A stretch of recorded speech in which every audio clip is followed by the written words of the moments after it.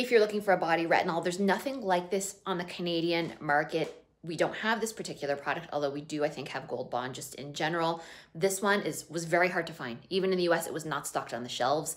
Everywhere I would go, it would be either like it was there, but now it's gone, or just not there at all. Um, like I said, the last Walgreens, I managed to find it. So I'll tell you about my thoughts on this actually. So we have body retinol creams here. It's not that you can't get them, but you'll be very hard pressed to find a retinol cream targeting the body because this is a newer segment of the lotion market that's going to be under maybe $25. We just got the brand, I want to say it's Naturium. Literally just got it, I think, this week at Shoppers Drug Mart in Canada. So $14.99 for this. There's nothing in Canada on the market right now at that price point. Isn't it good though?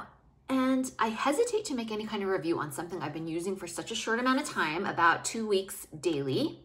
I can't tell that it's doing anything. So if you